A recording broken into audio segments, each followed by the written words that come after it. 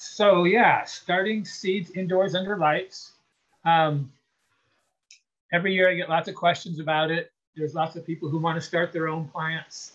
Um, you know, and, and there's different ways to do that. Some people think they want to get a greenhouse, or some people think I'm just going to start them indoors in the window. And then the third option, of course, is starting them indoors under lights. In the window just does not work very well. Um, I'm not saying you can't do it. I've had some people be successful, but most people I know who try growing plants indoors, seeds, in the window aren't successful. Um, the light just isn't strong enough, and the plants are always leaning towards the light, and they're usually real thin and spindly and just not very healthy plants. And then with the greenhouse, it sounds pretty easy. You know, all you have to do is build some kind of a frame, put up some plastic, and you've got a greenhouse. But unfortunately, that's not really enough to grow um, successfully. You need um, heat in that greenhouse, and that's problematic. You have to figure out some kind of heating source that will maintain it to be at least 55, 60 degrees at night. And then the other question is when the sun comes out during the day, it's going to get way too hot in there. You need some kind of fans and vents, windows that open up. So it's a lot of work to actually run a greenhouse, and a home greenhouse is not an easy thing to do. So the easiest way to grow your own plants and get a fair amount of plants is to start them indoors under lights. So we're going to talk about that today. Um, you know, the reasons, you know, are might seem kind of obvious, and obviously you've got your own reasons if you're here wanting to learn about it. But you know, you can save a lot of money if you grow your own plants. Um, you know, buying plants, even if you buy them at the Kansas City Community Gardens, where our plant prices are very reasonable, um, you know, can be very expensive if you want to have a lot of plants. The other advantage to growing your own is you can pick your own varieties. I mean, nurseries and greenhouses try to grow lots of different kinds. Um, you know, lots of heirloom varieties these days. There's so many varieties available, but they can't grow very many. Um, if you want something interesting and unusual that nobody else has or nobody in your neighborhood has, you know, you see them in the catalogs. There's all these really cool varieties. You want to try them. Your best bet is to grow them indoors under lights. And then, you know, thirdly, just enjoyment. You know, a lot of people get satisfaction out of starting their own plants. And, you know, if you've been cooped up all winter, like most of us have, and it's not over yet, you know, it's not really gardening time yet. It felt like it today outside, but we're going to get supposedly seven inches of snow and five degrees here later this week. So while we're waiting, you know, you can start some of your own plants indoors. So that's always kind of exciting. All right, so so many varieties. I mean, I think just about peppers and tomato varieties alone, you know, there are hundreds, if not thousands, of different varieties. And again, it's just kind of fun to try some of each, a few of each, try something unusual. Um, you like a particular kind of pepper. Um, so, you know, your favorite place doesn't have it for sale. You can start it yourself by ordering the seeds and growing them indoors under lights. There are a few common mistakes just to kind of warn you about. And um, if you can avoid these common mistakes, you'll be miles ahead in growing your own plants indoors successfully. Um, of course, the first one is growing in the window as opposed to using lights. But then also um, not growing close enough to the lights. You know, how close are your plant seedlings as they're sprouting? How close do you want them to the lights is a question we'll be talking about in a little bit. Um, also, it's a mistake to start your plants too early you think if you start early, you'll get a really giant plant and you'll have tomatoes, you know, two months early. But it's just hard to grow a big plant indoors under lights. Um, it just doesn't work very well. So you're really better off trying to grow a small transplant size, just like you would normally buy from a greenhouse. Um, you know, something that comes in a six pack or a four pack. And that's a good size for transplanting and moving outside.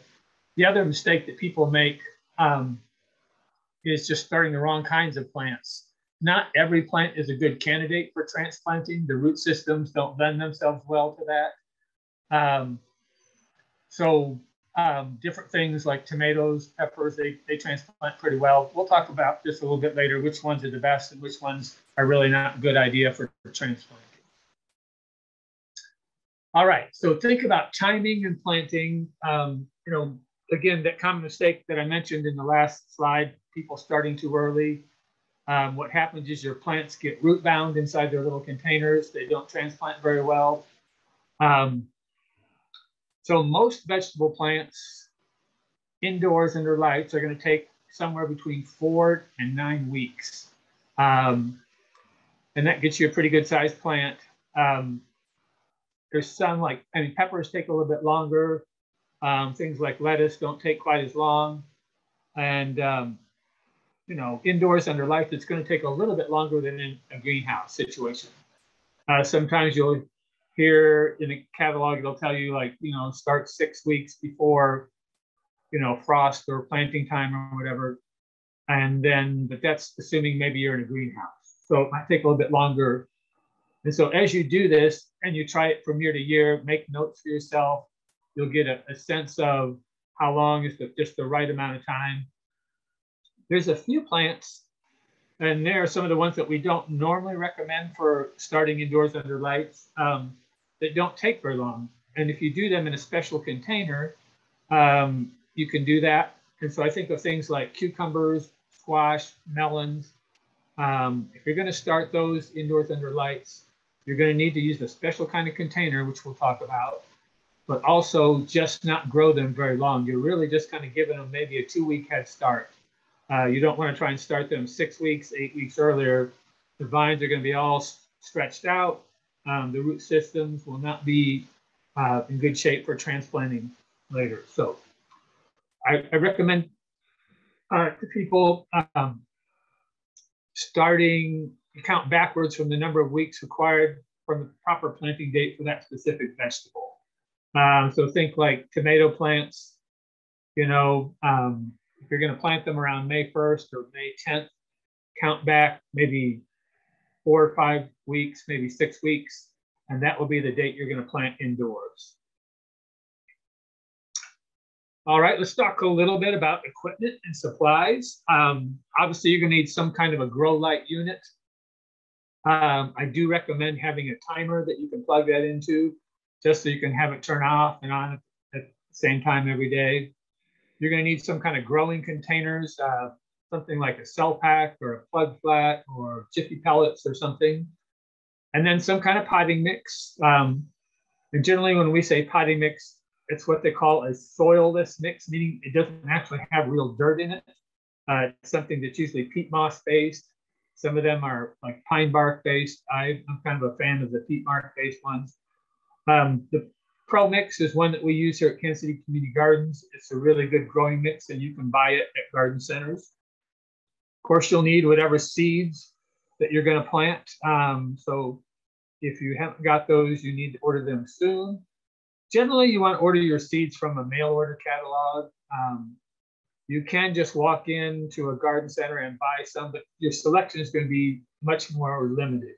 If you want to have the best choice of especially really interesting varieties, go to a, a mail order catalog and order some seeds from them.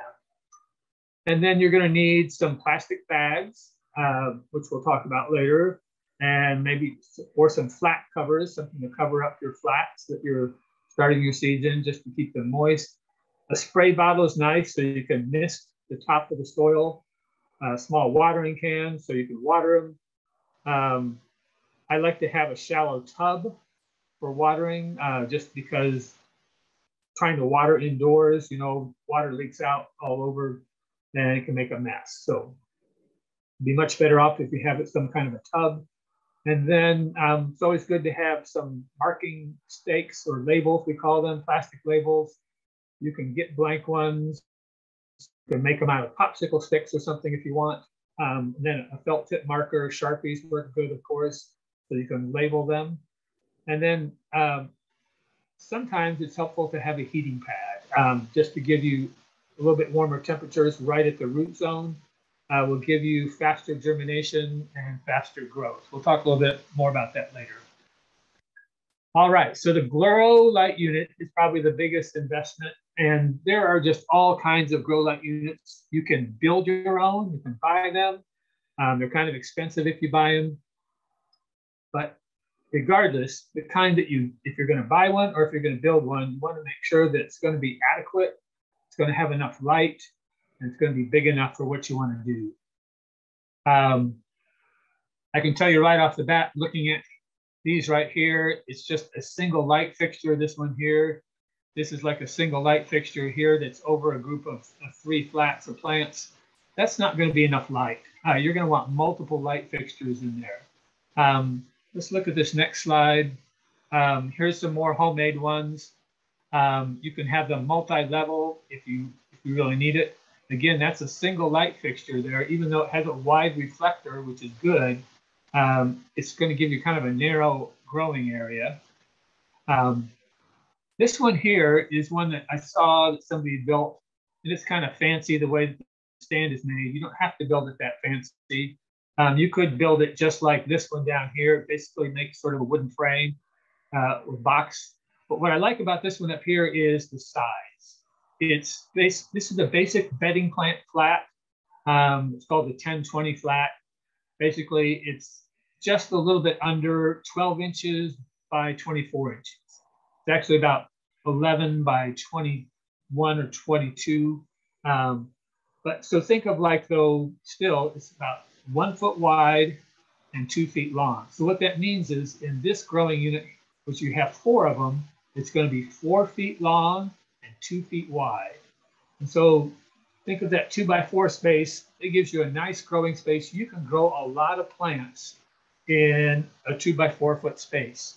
You could easily grow uh, 250 plants. If you want to, you can grow more than that depending on the size containers you use. Um, but then the thing is, you're going to need enough light for this. A single light unit will not be enough. Um, uh, let me see. We'll, we'll, we'll come back to that picture in a little bit. Um, if you buy a store-bought unit, they can be very expensive.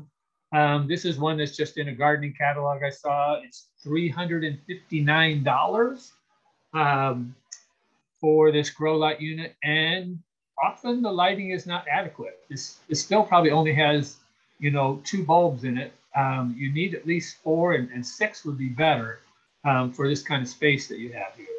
Um, so I'm not a big fan of buying them. Um, I mean, you can buy the fixtures and just build the wooden frame. So um, if you go back to this one here, again, it's pretty simple just to, you know, cut up some lumber. You can use two by fours or one by fours. You can use two by twos um, and just make a wooden frame, but make it four feet long and two feet wide.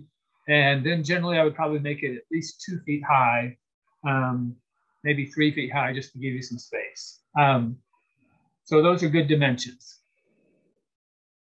And when you're buying fixtures, um, you know, the grow light bulbs have come a long way. Um, the, the old fluorescent lights that they used to have, um, I don't even know if you can actually get those. You can still get real fluorescent lights, uh, but they're more compact. They're not as big a diameter bulb as they were. Uh, this one on the left here is called the T5. It's a compact fluorescent. Um, and so, again, this is 48 inches long. That's the size I recommend. It's what they call a shop light. Um, it's like you might have out in your garage, over your workshop, over your workbench. So um, it's a nice size for growing plants. And then, of course, they come with different size of bulbs. Um, these, uh, oops, sorry. So different different kinds of bulbs. The old fluorescent bulbs, not the real old ones, but the more modern, what they call compact fluorescence, uh, T5. And what you're looking for is if it designates the type as cool, cool light. Um, and then the other option would be LEDs. Of course, LEDs are very popular now, and they now make those in the same configuration, these long tube type bulbs uh, for 48 inches long. And you can get LEDs in different lengths. Um, but the, the 48 inch long just works really nice to make that nice two by four foot square um, growing area. Um, so the fixtures, these are just from the Home Depot prices. Um, for the, the regular fluorescent, they were $26 for that fixture that holds two bulbs. The LED one was like about twice that much. Um, so obviously more expensive and the LED bulbs are more expensive, but they do last longer. Um, but if you're trying to get in for as cheaply as possible, I would still recommend the, the fluorescent bulbs. Um, so what I recommend to you when you go to buy these is that you buy three of these units, regardless of which kind you want. So it's going to be three units with two bulbs each. And then you're going to hook that into a wooden frame that's going to hold four flats like that. So that's what it's going to look like. All right, let's talk about containers and soil mix, which is also called growing medium. Um, the growing medium that I do recommend is called ProMix. Uh, it's a peat moss based one. What I like about the ProMix is that you can get different formulations of it, and some of them actually have microorganisms added in um, that will help, you know, plants grow healthier. These are things that would occur naturally in nature uh, that will just help help your plants grow better and faster. So anyhow, a lot of growers use these kind of mixes now.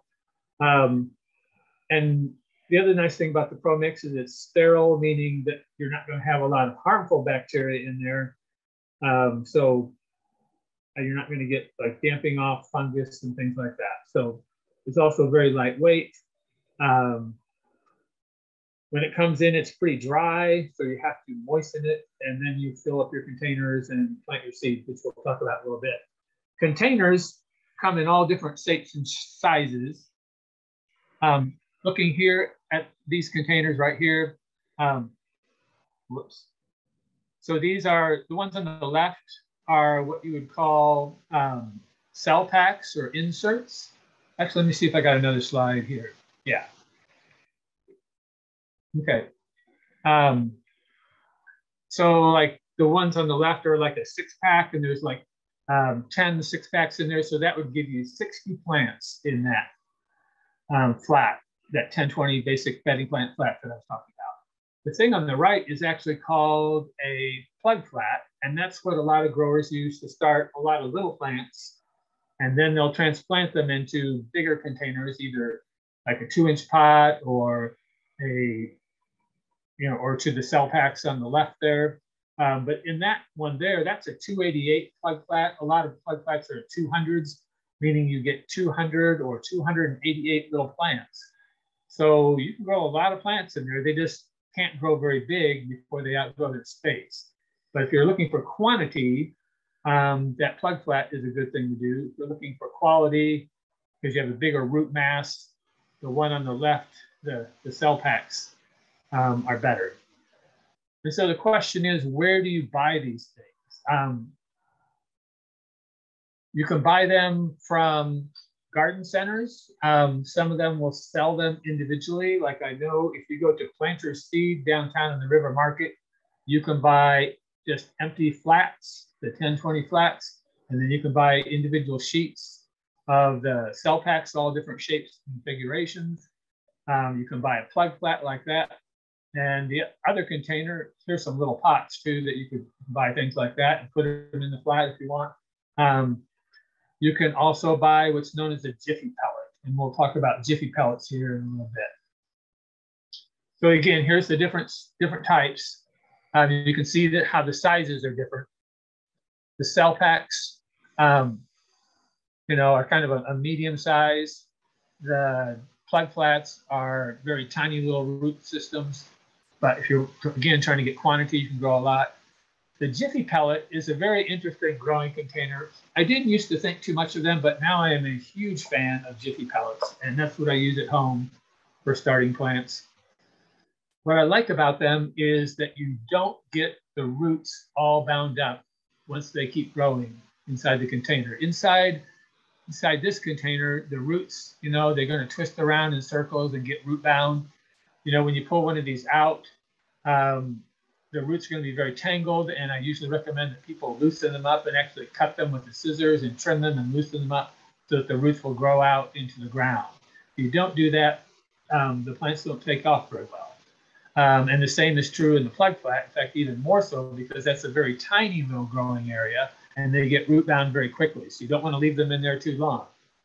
But in the Jiffy pellet, basically what it is, it's a bunch of compressed potting soil, mostly peat moss, with a little bit of nutrients, um, a little bit of uh, vermiculite in there. Um, and then it has this little plastic netting around it. So you can see what it looks like when it starts out. It looks like a little flat uh, disc. And then you set them in water. And in about five minutes, maybe 10 minutes, they expand because all that peat moss in there, which has been compressed, starts expanding when the moisture gets there. And so then it turns into a container, a little thing here about this size. Uh, sometimes it almost looks like a brownie or something, or a little, little cupcake or something. And there's usually a little hole in the center where you can drop the seed. And you drop the seed in there, and you can sprinkle a little potting soil on top of that. And then as it grows, the roots, instead of twisting around in circles and getting all root bound, the roots actually grow to the edge and start to come out um, through the netting. And once they hit the air, uh, they generally stop growing unless they're packed closely together. But the point is, you don't get that root bound, so the roots just take off much quicker. You have a really healthy root system. Now, the plants may not get as tall um, as, as they do in uh, a cell pack, but that's okay because you're more concerned about that root system. You want a healthy, healthy root system. Uh, you can buy these at planters. You can buy them online at Amazon, uh, different places. They do make some that are made out of a different material that are made out of like a coconut hull that's been shredded. And I have not had good luck with those. Uh, I've had the best luck with the ones that are made out of peat moss. So that's what I would recommend to you. If you buy them in big bulk, like a 100 at a time or a 1,000 at a time, they're like 10 to 15 cents each. So lots of times when you're starting your own plants, you'll see in the catalogs kits, you know, that try and get you everything all at once. So you don't have to figure this out. And I understand that they're trying to make it simple for you, but usually um, they're kind of gimmicky and they're usually overpriced.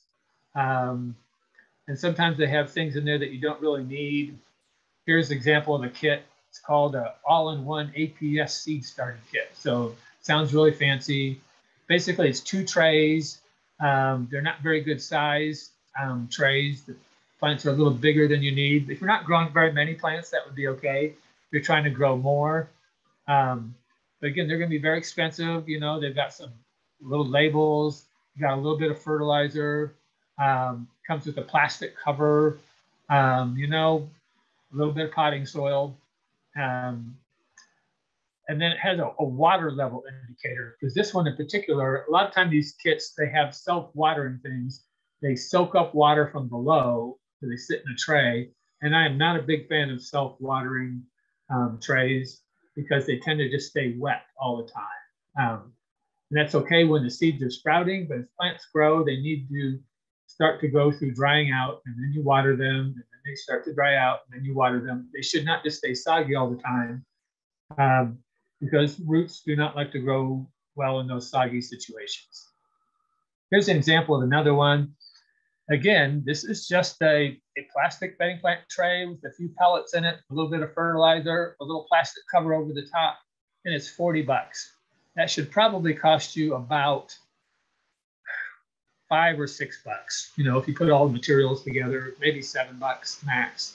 Um, the other thing is when they put this little plastic dome over it, it looks like a little greenhouse, you know, the mini greenhouse. Somehow people think that's going to make it grow really good indoors, like somehow that's going to provide more light. It doesn't. It helps hold in the humidity, but it doesn't help with the light.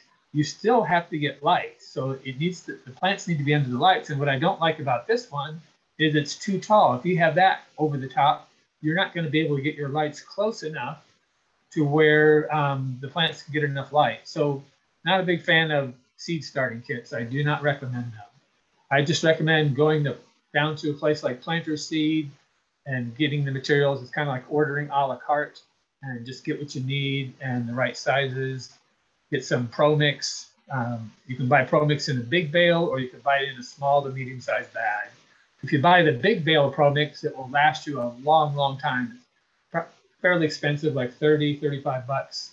Uh, you can get smaller bags that are cheaper, uh, but that big bale will last you forever almost. So, all right, let's talk about planting the seeds and selection. Um, assuming you have varieties, let's talk about which plants work the best for starting indoors for growing in containers. This list here is kind of a short list of the ones that work the best, kind of your average garden plants, tomatoes and peppers, of course, but also eggplants.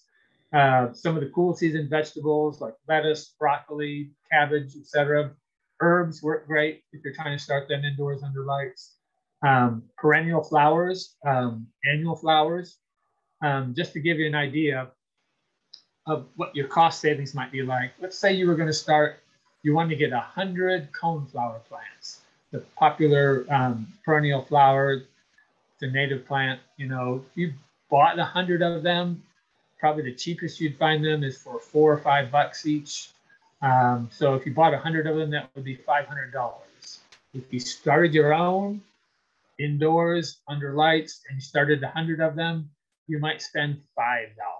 Um, so if you want a lot of something, um, starting them indoors under lights, especially if you use plug flats or smaller um, of the cell packs, you can get a lot of plants in small space If you like lots of flowers around your patio or whatever um, for growing for cut flowers, um, or if you're trying to grow a lot of tomatoes and sell tomatoes, uh, it might be worth your while growing your own plants. Um, so those are the plants that work right work well, all those different ones, because their root systems are well suited to transplanting. Um, here's the ones that don't work so great. And it doesn't mean you can't do it, but generally they do not work good, especially in cell packs, uh, because the root systems get root bound real easy. Um, so think of things, especially root crops, things like carrots, turnips, and radishes. And that doesn't mean you can't do it. It just doesn't work very well. I even saw a website where a guy said, yes, you can grow carrots indoors, start them indoors under lights. And he was had a big long article about it, but somewhere in the article he says, but it doesn't really work very well. You know, uh, you're much better off just planting carrots out in the ground. But also things like beans and peas, their root systems do not like to be transplanted. Uh, once they get root bound, it stunts their growth.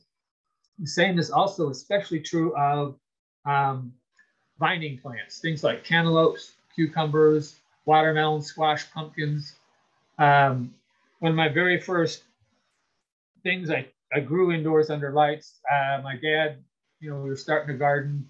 We thought, gosh, we're going to start our pumpkin plant indoors so we get a big start on it so we can grow the giant, you know, 300 pound pumpkin. You know, it was a great idea. I was about 14. Uh, we started pumpkin plant in January and it got big. So we put it in a bigger pot and then it got bigger. So we put it in a bigger pot. And then when we transplanted it outside, um, roots were all bound up. They were root bound. So it did not transplant well and it eventually died. Um, but even things like um, okra, if you plant okra in cell packs, um, they're going to get root bound. And if you plant okra in the ground outside and you plant some from a plant that was grown indoors in a cell pack, the one that you plant outside in, with a seed will grow faster than the one that came in the cell pack. And the same thing is true of things like, you know, zucchini, um, other squash, cantaloupes, melons, etc. So that's why I do not recommend growing those vine crops. In fact, all of these, if you really, really want to try them, what I recommend to you is to use a jiffy pellet so you don't get that root bound thing happening. Especially, um, you know, with melons, cucumbers, you want to get early start in cucumbers or watermelons, great.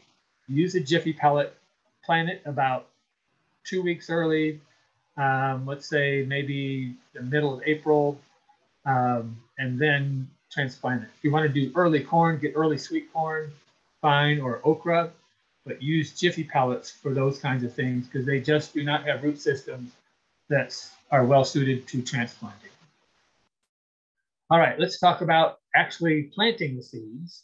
Um, you know, indoors you have much better control. It's not gonna, you're not gonna get a big downpour. It's gonna wash all your seeds away.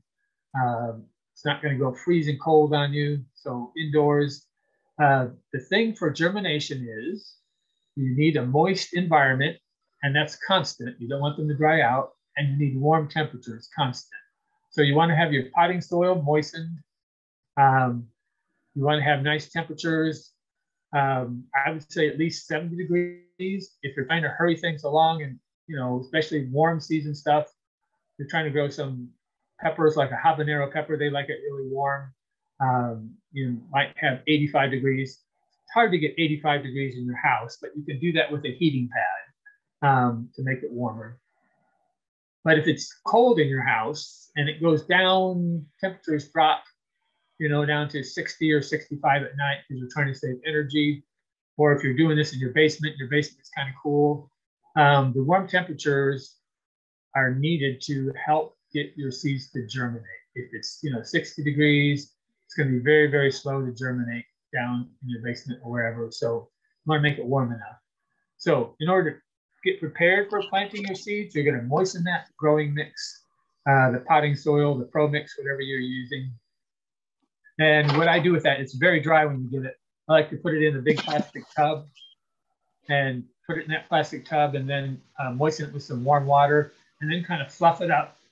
You don't want it soggy, but you want it, want it to be fairly moist. So then you fill up your containers and kind of level them off. I'll take like a ruler or something just to kind of level them off. And then lots of times I'll make little tiny holes like with the end of a pencil eraser just to drop the seeds in. Um, the other thing that's nice about growing with the potting mix, it's a little more forgiving if you plant too deep. Outside in, in a heavy soil mix and you plant too deep, your seeds may not sprout because they're going to have a hard time pushing up to the heavy soil. The potting mix is lighter. So if you're planting little, little tiny seeds, you still don't want to plant them very deep, but you can cover them up with a little bit of the potting soil and, and then they still will burst through even though um, it's maybe a little too deep accidentally. Um, you also want to make labels. Um, write down your variety name because at some point when your tomatoes start sprouting, you've got six different kinds. You want to make sure you know which ones are which so that you can compare them when you plant them out in your garden, see which ones you like. Um, so I put down the, the variety name, but I also put down the, the date that you sowed that. So you know how many days it took you you know, until you're ready to plant it outside. Also, just to help you know what, how long maybe to wait until those seeds sprout. All right, so let's talk a little bit about the actual sowing methods. Um, so in the olden times, they say olden times, maybe 30 years ago, people used to plant seeds in just directly in the seed flat, and then they would dig it out and transplant it and put it in the cell pack. But now people are more often just doing direct sow. You're filling up those cell packs, things with four or six in the cell pack. And then um, you're going to direct sow so you don't have to dig them out and transplant. But the question is, how many seeds are you going to put in each cell of that cell pack? And generally, um, if it's a really expensive seed, I might just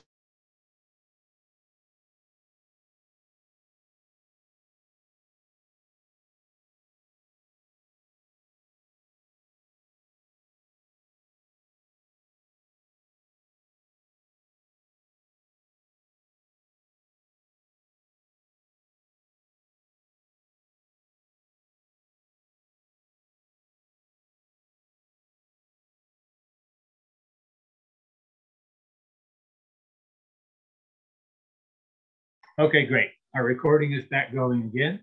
Um, so one thing that I do to um, make it easier for sowing um, little tiny seeds is I'll take like a little index card and I'll fold it in half and trim it a little bit. So basically it makes kind of a long um, little sort of a funnel to put the seeds in. I'll sprinkle the seeds in there, and then I can kind of, I'll take like a paper clip or a pin, and I can slide those seeds off one by one if they're really tight. Um, if you want to see more what that looked like, uh, you can send me an email, and I'll, I'll send you a picture that. I didn't have one here today. But if you have really tiny seeds, it just makes it very easy to have a little uh, index card to help hold the seeds just so you don't drop them in one by one. You can do it one by one uh, but with the tiniest seeds, it gets kind of hard. you're going to drop the seeds, or if it's doing two seeds or three seeds in the center of the cell, and then you're going to drop a little. Actually, first, I like to moisten that while the seeds are uncovered, just to make sure that they get moistened. So you take your mister bottle, and your, your soil is already moist, but now you're going to mist on top of that so those seeds actually get some moisture right on top. And then you're going to cover those seeds lightly with a little bit of dry potting soil. Just, you know, kind of pinch it between your finger, almost like if you were sprinkling um, something like when you're cooking. And just enough to barely cover the seeds. And then you're going to mist it again now that they're covered. And then what I like to do after that is cover them uh, that flat, either there's like a clear plastic container, like a little greenhouse cover. Um, they sell those at Planter Seeds downtown too. Um, they're only about two inches tall, but they fit right over a flat. Um, or you could put a plastic bag over your flat. Um, if you buy like a kitchen trash bag, the, the, white trash bags that usually fit over them pretty nice. The thing is, it's hard to see what's going on inside. So you have to keep looking at it to make sure you know when the seeds are sprouting. So you want to cover it up so they don't dry out too quickly.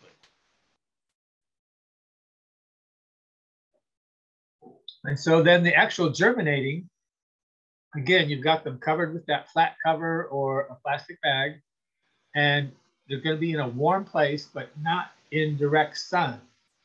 Don't try to stick them in the window, um, thinking that they'll get you know more light and warm up better. It can get too hot inside there.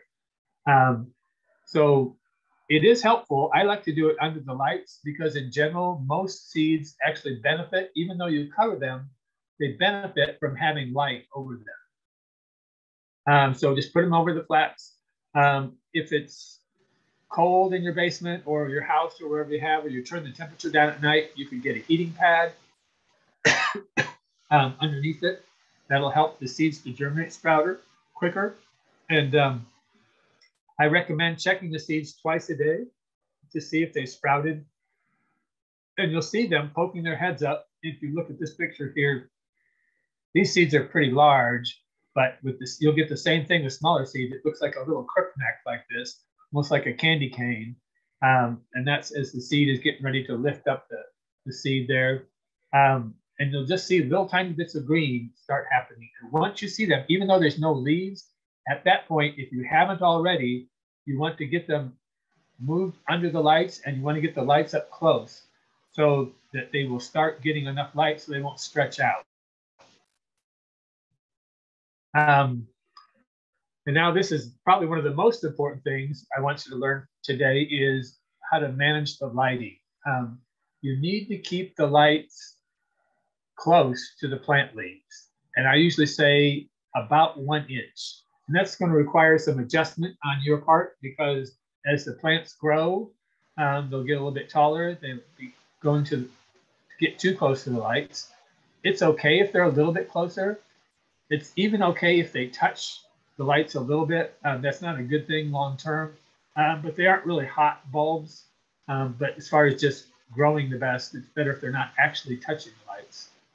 Um, so you're going to need to um, have them close. Here you can see the light fixture up above. Um, the plants are very close to the lights, like about one inch from the top of the leaf to where the lights are. And as far as how long, um, it's interesting. They've done different experiments. It's actually not good for plants to get lights 24 hour a day. Plants actually need to have rest, to have dark. Uh, so usually think about eight hours of darkness, about 16 hours of light. Some people say 12 hours of darkness, 12 hours of light it's it's not a big difference either way. Um, but you definitely want to keep them on more than they're off. So um, some people will have a timer so you can set it to come on at the same time every day and turn off at the same time every night. Um, if you don't have a timer, what I tell people is just turn the lights on first thing in the morning when you wake up and turn them off when you're going to bed. Hopefully you're getting about eight hours of sleep and that will work out about right. So bad lighting management is what happens when you aren't close enough to the lights. Um, you can see here in this picture, you know, this was the one we saw in the catalog. Look how far these are from the lights. Those are probably about four inches, and these are the taller plants.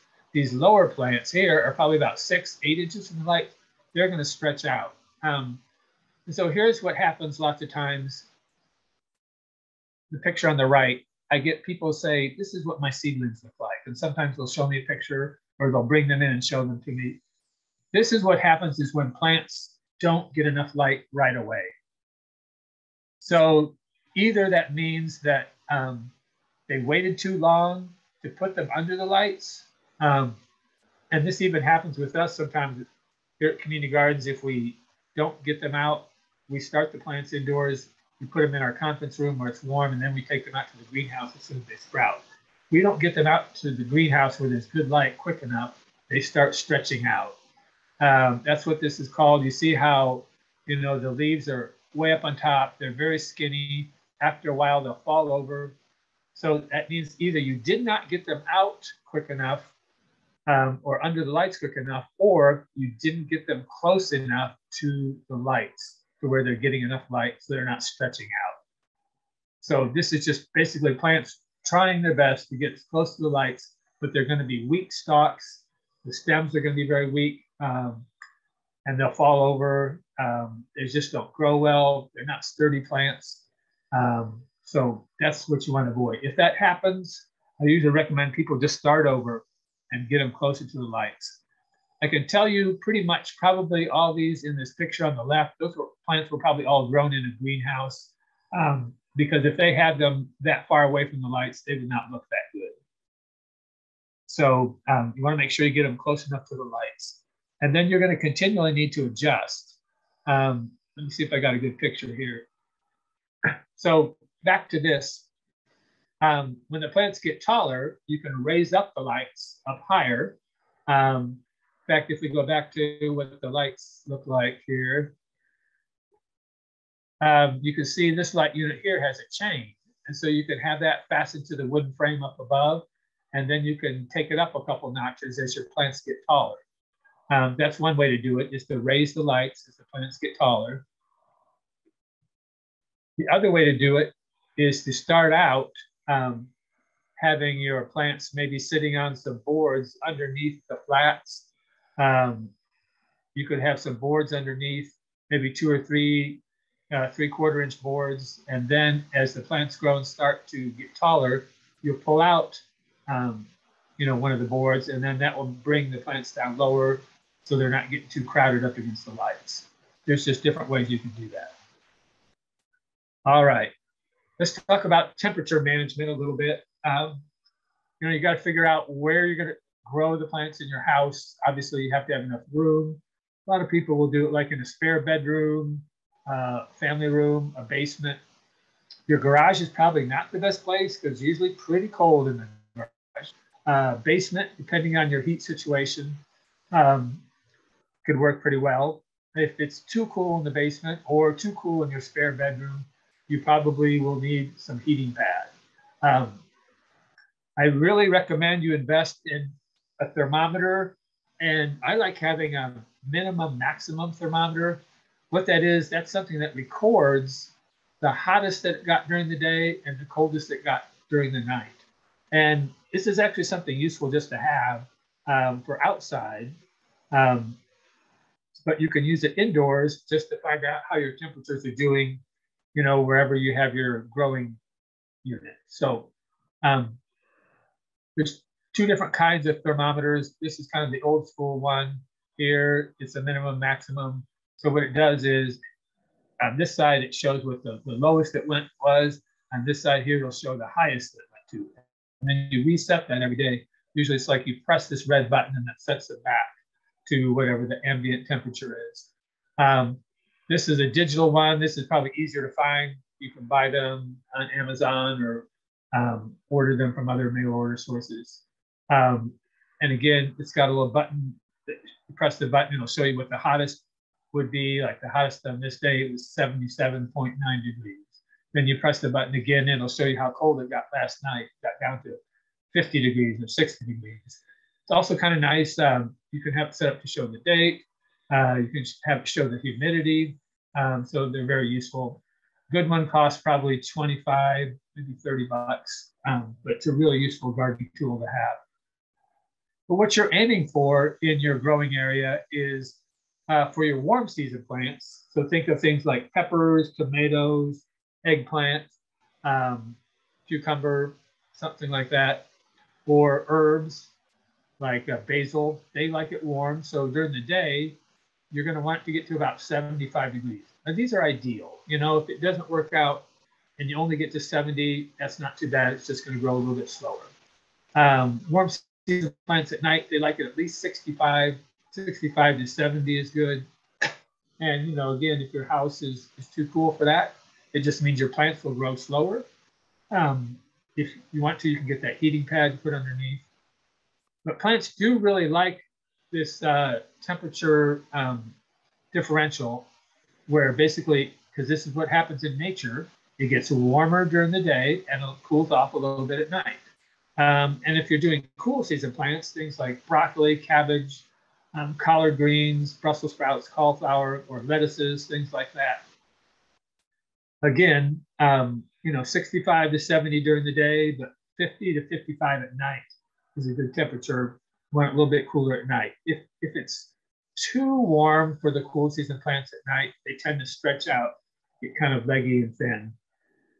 And for the warm season plants, if it's too cool at night, they just don't grow very fast. So these are what you're aiming for. If your house is 70 all the time, that's really not too bad, and your plants will still do pretty fine.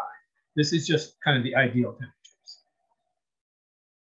All right, let's talk about when your plants are sprouted, they're growing under the lights. Um, you know, you got to continue to take care of them. So you're going to be watering them, fertilizing them.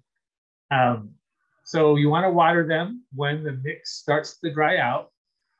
Uh, it'll start to get lighter in color. It'll, peat moss, when it's when it's wet, it's dark brown. When it's dry, it's light brown. It'll be really obvious. I do recommend using lukewarm uh, or room temperature water, water that's been sitting out, um, or even slightly warm, like 70, 75 degree water is fine.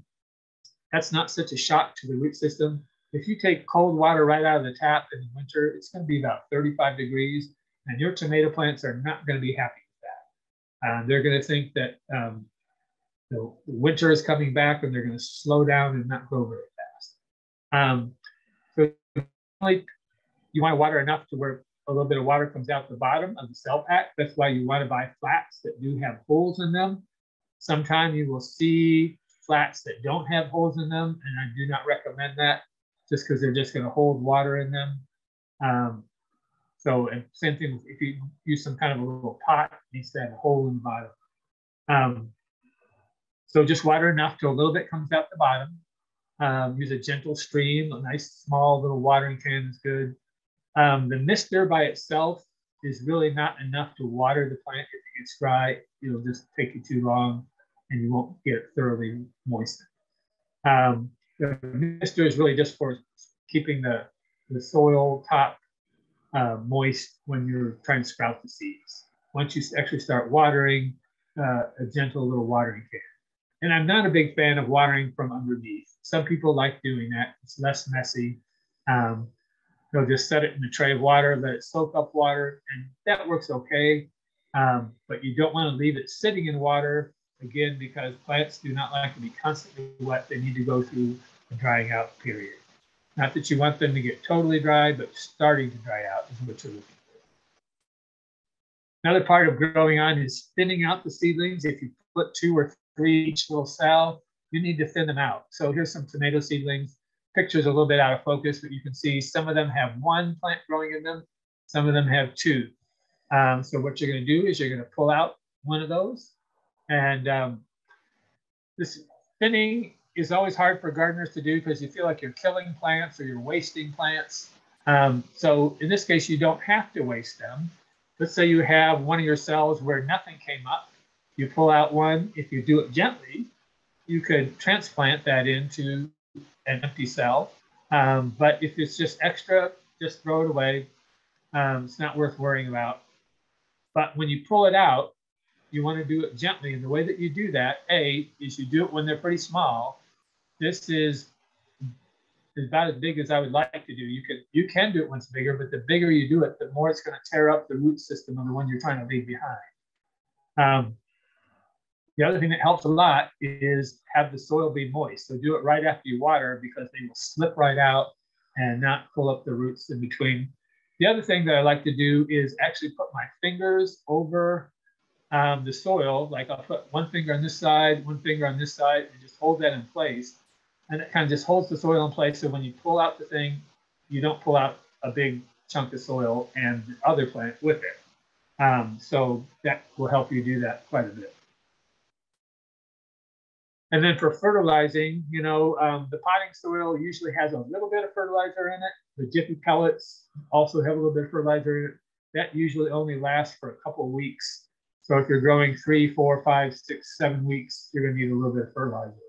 So I wait until this seedling has actually fully emerged. So like if you're looking at this picture up here, this one is all the way out, whereas like those ones that we looked at a little while ago, when they were just kind of a crook neck, like the candy cane shape, they aren't fully emerged yet. So they're not ready for fertilizer. And even, um, you know, these first leaves, those are called the seed leaves. When the next set of leaves come on, that's called the true leaves. And that's when you really need to start fertilizing if you haven't done it by then. Probably the easiest way to do it is use a liquid fertilizer. Um, there's organic ones, there's chemical ones, um, but mix them up. And I usually do it half strength for seedlings because I don't want to over fertilize them. And also because they're not in the greenhouse where they're getting lots of sun, you can't grow quite as fast. So I use it half strength. Um, if it says like two tablespoons per gallon, I'll use one tablespoon. Whatever the, whatever the instructions say, cut it in half. So remember to use lukewarm water. It will help the fertilizer to dissolve better. Um, and generally, I'm going to do it about once a week. And that will keep your plants moving along in a nice pace so they'll be ready to move outside.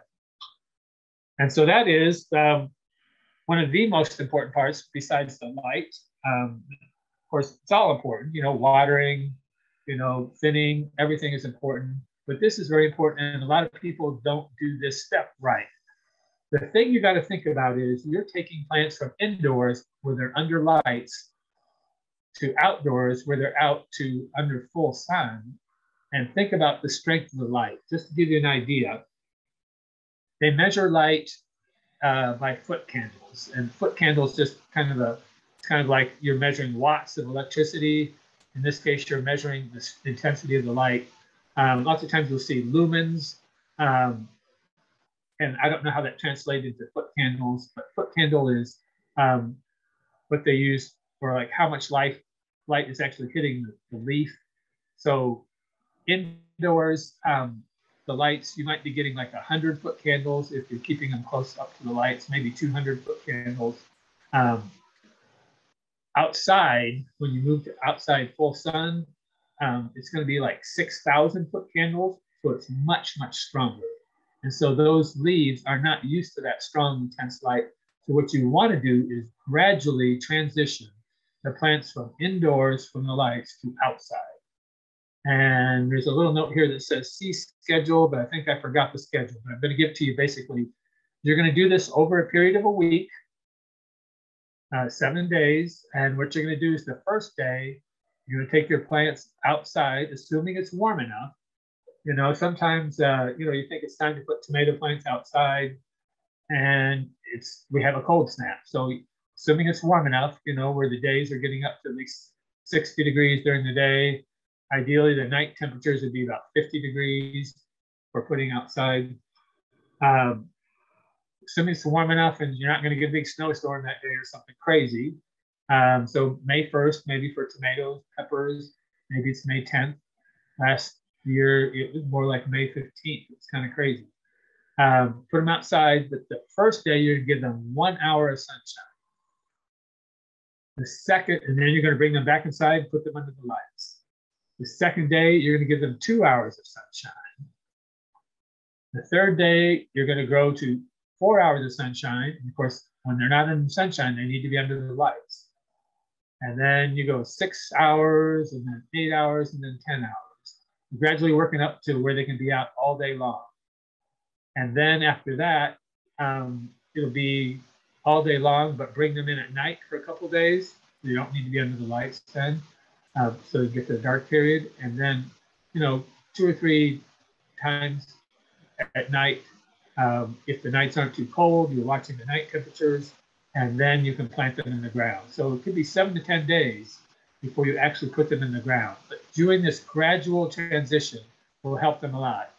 Even then, sometimes you might get a little bit of browning on the leaves uh, just because the, the sunlight's a little intense, but the new leaves, as they grow out, will be used to the stronger light and they'll do fine. So um, sometimes what I tell people, if you work all day and you can't, you know, do it gradually, I would say start on the weekend. Um, so you can, you know, put them out just a little bit the first day, the second day. And then after that, you can put them out, put them out in a place where they will get full sun for half the day, but then uh, in the afternoon, maybe get shade. You know, put them on the side of the house, and once it gets to the afternoon, they'll be in the shade for a while. That's if you can't do it gradually. You know, one hour, two hour, four hour, six hour type thing. Because um, that that shade um, is still a lot stronger than the uh, lights indoors, but it's not as strong as the full sun. So that way, they'll not get too much right at once. So just a little bit about um, Kansas City Community Gardens. Um, if you're not familiar with this or if you're not from here, um, we're a not-for-profit agency located in Kansas City, Missouri. Our mission is to help low-income families and community groups to grow food from gardens, and we do that um, at community gardens. We help individuals. Uh, we have community orchards, our Give and Grow program. We have schools that we help, our Schoolyard Gardens program. So if you're interested in any of those programs, look at our website for more information. Um, and if you're interested in buying seeds from us, you can come into the office and become a member. We're a membership organization. Even if you're not a low income family, you can join and become a member. It's just going to cost you a little more than a low income family, but you'll still save quite a bit. Um, if you're not from the Kansas City area or it's hard to get here, you can actually order seeds from us online. We have a website called beanstalkseeds.com, and you'll see all the different kinds of seeds. And we'll actually, just like you order from any of the mail order catalogs, we'll ship them right to you. And um, we'll get them to you pretty fast in time for planting. Um, so um, if you do buy seeds from us and support us, that helps support school gardens, community gardens, gardens for low income people, and community orchards. So um, Tell your friends, especially if you're not from around here, tell your friends all over the country to order seeds from Kansas City Community Gardens through that beanstalkseeds.com. Um, so now I'm going to take questions. I'm going to see if Rob has any um, questions from people. Hang on while I check the line here. Yeah, I went ahead and sent you an email. And Ben, if you want to stop sharing your screen, I'll show uh, some people the website. okay. Yeah, great real quick. Yep. Okay. So uh, first off, sorry for the technical difficulties earlier. Um, I guess people had to re-register at some point. I'll look into the issue there, so I apologize. That was my fault. Um, but anyway, um, this recording, if some of you are joined late, this recording will be on our website here, kccg.org you go to our resources, this drop down menu, how to videos, and then down here at the virtual workshops, this has um, all the workshops that we'll be doing this year. And I'm even leaving up all the ones that we did last year that were all virtual Zoom workshops. It takes a second to load here because they're YouTube clips. You can also go to our YouTube channel too if you're a YouTuber, but yeah, right here, so we did the selecting and planting fruit trees last week. Um, and so, yeah, uh, you see all of our workshops from our workshop link, but all these, all the workshops that we have scheduled will be on this virtual workshop page. So. Okay. Yeah, definitely check out our website. We have a great website um, and there's just lots of useful information there. There's so many um, videos, uh, short videos, and videos like from this workshop will be available later. Um, and you can go look at ones in the past. If you want to learn about, you know, tomato plants, watch it now instead of waiting for it to come again. Uh, lots of good options there. So I, I'm going to answer the questions now. I'm just standing here and I see some really great questions, so I really appreciate this. Uh, the first one, somebody just asking for thoughts on the various LEDs, you know, types of light bulbs, uh, the different, sometimes they call them different temps, different color spectrum, etc. And it seems very complicated. Uh, and person says, maybe I just haven't learned what the benefits are. So yes, they talk about the spectrum of light, you know, how light breaks up into different colors like the blue, green, uh, the yellow, orange, red, different, you know, parts of the, the light spectrum, you know, like when the rainbow.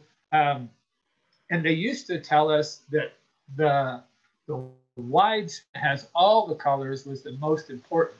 Uh, and that's true for overall plant growth, but not for starting seedlings. Um, so that's why when they you know first started telling people use fluorescent lights, they had these special grow light bulbs that were really expensive because they had the whole spectrum on there. But really, just the regular cheapest, you know, fluorescent light bulbs have the the blue green uh, part of the spectrum, which is the most important part for seedlings, because you're not actually trying to get a tomato fruit to grow. You're not getting it to flower. That's where you need more of the red and orange um, part of the spectrum but just the blue green part is for making green leaves grow. So I tell people not to worry about the color spectrum, just get the cheapest bulbs. If you're using the T5 fluorescents or if you're using the LEDs, just get the regular ones. You don't need special wide spectrum bulbs for that. So um, the next question was about um, uh, soil blocks. Uh, if you're not familiar with that, that's another type of growing thing. It's basically where you you you mix up some potting soil and you have this little sort of like a mold and you press on it and it sort of shapes it into a block so it doesn't have any sides at all. And, and soil blocks work great. Um, I don't use them because they're pretty time consuming. Um, but if you want to make your own soil blocks, you can do that. You basically just buy a soil blocking device uh, company that would have them would be like Johnny's uh, Selected Seeds. It's a seed catalog that has a lot of growing supplies. Uh, but if you just um, look online for soil blockers, you can find those, and they come in different sizes. Um, you have to watch them so when they dry out, they can dry out pretty easy. Um, and you know, and you can't handle them very much until it's time to plant them. But they, they do work well, and a lot of growers use them. Um, okay, the Jiffy pellets. Uh, the question was, do you put them in an open flat? It says when I see them, they're sold in cell packs, which seems like they could still get bound. Yes. Um, so I just put them in an open tray, um, and um, I actually will use. I'll put them in some kind of container that doesn't have holes in it. Like I'll use like a, a foil roasting pan or something or I'll use a baking pan from the kitchen, a glass baking pan, and just put them in there and let them soak up the water. And then I'll put them in the tray that has um, holes in it. And so that when you water that tray, the excess water will go out. And um, I'll put them pretty close to each other. And then once they start growing, I'll space them out a little bit just so they aren't packed too tight so they don't start growing into each other.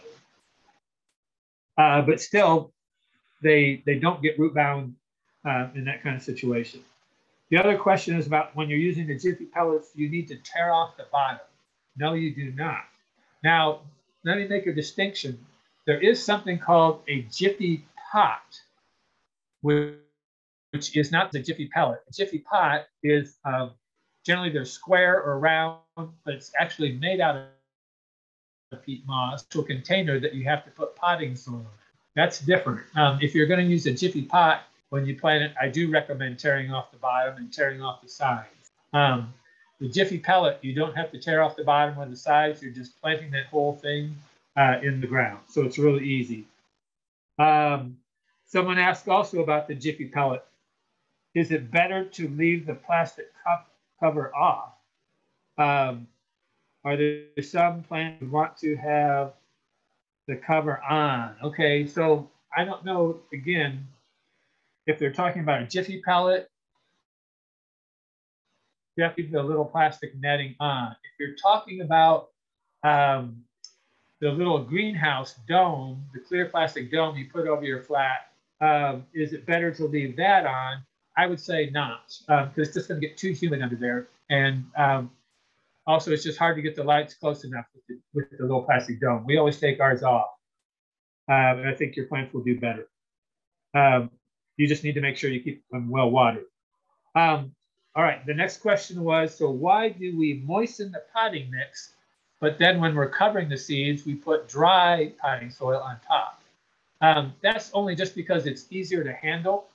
Um, the moist potting mix, it sticks together, and so it's too easy to drop too big of a clump and bury your seeds too deeply. Um, it's fairly easy to take, um, so you have the moist potting soil, you drop the seeds on top of the moist potting soil, and then you mist that on top of that so the seeds are moist. Then you take a little tiny bit of dry potting soil and sprinkle that over the top. That's just so when you're covering that. Um, so you're not putting too much because you can sprinkle it real easily because it's dry in between your fingers. And then you're going to take your mister and mist on top of that so it will end up being moist. So the whole thing will be moist when you're done. But just sprinkling the dry works out good. And I would just recommend that to you, even if you're planting outside. Um, if you're planting tiny seeds like carrot seeds or something, or collard greens or whatever, arugula, even lettuce, um, you make a little trench out in your garden, sprinkle your seeds, and sprinkle a little tiny bit of potting soil over the top. Just because it's so lightweight, but it stays moist longer, uh, it just makes it easy for your seeds to sprout, as opposed to trying to cover them up with heavy dirt. Um, question, a couple of recommendations for what kind of fertilizer to use. Again, you're going to want to use a liquid fertilizer. so your choices are going to be either chemical or organic. Uh, chemical is easier to find. You'll find products like Miracle-Gro. Um, there's different ones uh, that you just basically, usually like a green blue powder. You mix it, you know, in a watering can uh, you can mix up a quart at a time or something if you want. You don't want very much. Again, use hot water. The chemical ones work okay. Um, the, they're they're cheaper and they'll be okay. It's not the same as using like chemical pesticides. Um, the um, the organic ones work great too, of course. Uh, they're just more expensive and harder to find. It's hard to find a good organic fertilizer. Lots of times you find one at the garden center and you'll find out even though it says it has some organic stuff in it, it also has some chemical. Um, but a brand name for that would be there's a variety um, that I've seen called Age Old Grow, um, which is a good one, and it's, it's, it's an organic liquid fertilizer. Um, might have to order it online. Um, again, that's called Age Old Grow. There's other ones. If you go to um, any garden center, but make sure that it's 100% organic if you want to use an organic fertilizer. Um, and, and just make sure the ingredients, and I would look for something that says that it's certified organic, because that would mean that it's actually a true organic product. So um, again, that's usually a little bit harder to find those. And then the last question was, excuse me, is there a certain time of day that's better to begin putting the plants out? And I would say yes. I would put them out in the afternoon um, because it's going to be a little warmer. Again, you're thinking it's early May. In the morning, it might be kind of cold. Um, and then, um, you know, in the, you know, by the time you get to afternoon, it'll be a little bit warmer. And you're only going to put them out for an hour the first day, and then a couple hours the second day. Eventually, you'll be putting them out in the morning. You'll be able to take a little bit cooler part. So if, if in that process of putting them out, the temperatures change and suddenly it gets really, really cold, it's going to be down in the 30s, the 40s. I would just bring your plants indoors, keep them under the lights. You'll have to kind of start the process over a little bit um, to get them gradually used to the outside. Just again, be careful um, putting them out. Do it gradually. Um, I saw in the chat just a question. Somebody's asking about fish emulsion as a fertilizer. Fish emulsion is a great organic fertilizer. The problem is indoors, fish emulsion smells terrible. So it might not be something you'd want to use in your house. In your basement, it'd probably be fine. Uh, but I would go easy on it until you're sure that you can handle that smell your house. Um, So some of the other organic fertilizers, there's some that are seaweed based. Uh, they're not quite as smelly, but some of them still have a little bit of fragrance to them. So again, you might want to check that out a little bit before you start doing it in the house. Um, so if you have more questions, you can email us at contact at kccg.org. Uh, if you have more questions, thank you for joining us. Uh, check the website for upcoming workshops. And if you haven't ever been here, come and visit us. If you have never been here, come visit us for sure in summer in our Beanstalk Children's Garden. All right. Thanks, everybody.